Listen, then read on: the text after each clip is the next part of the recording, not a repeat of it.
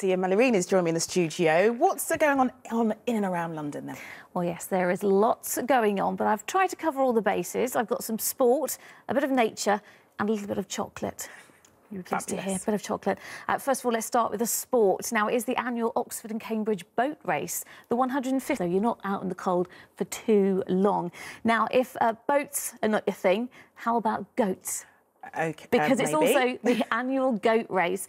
Now, this happens at Spitalfield City Farm uh, in this activity. I, I think they enjoy it. I should hope not. I should hope yes. not. But have you got something that's a little bit warmer? Because mm-hmm. as Martin's just said, it's going to be cold again this weekend. Yes, a little bit warmer indeed, and quite tropical because tomorrow sees the welcome return of the hugely popular butterfly enclosure at the Natural History.